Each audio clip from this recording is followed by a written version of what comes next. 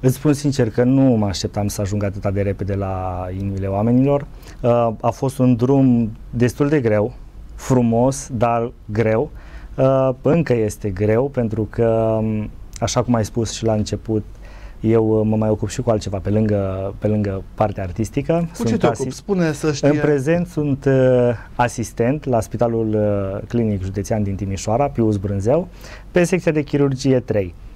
Și dacă cumva colegele mele și colegii se uită la, la noi, îi salut și ne vedem dimineața.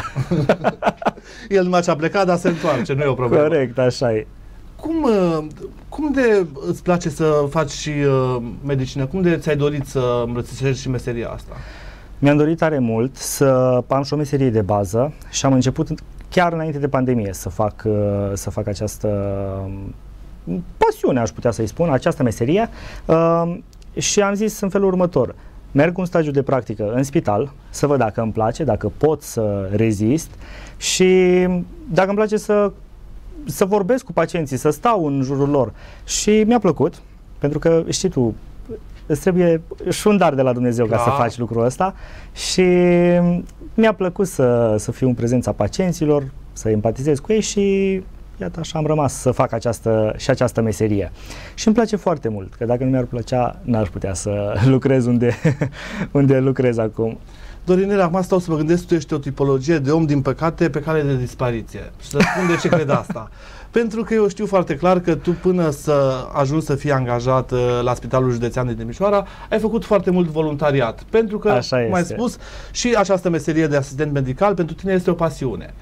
Pe lângă acest lucru, în muzică ai muncit foarte mult, ai mers la concursuri, ai uh, demonstrat tot ce poți, dar nu te-ai grăbit uh, și cred că nici acum nu mergi la foarte multe evenimente de unde să-ți uh, câștigi banii.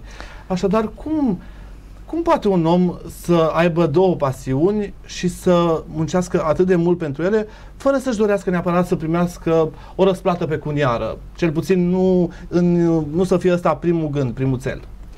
Știi cum, Andrei, uh, roadele vin mai târziu la fel ca și în uh, viața de zi cu zi. Parcursul vieții, da? Începe cu primăvara, când pomii înfloresc, vara, când deja cresc roadele și toamna, când deja le culegem. Ei, așa a fost și, și în cazul meu. Am urmat, uh, mi-am urmat drumul pas cu pas și am încercat să urc treaptă cu treaptă, să nu cumva să, să sar peste, peste trepte și așa am ajuns să fiu omul de astăzi, așa am ajuns să fiu și uh, domnul asistent și tot așa am ajuns să fiu și Dorinel Gavriluț, uh, cel care, care cântă muzică populară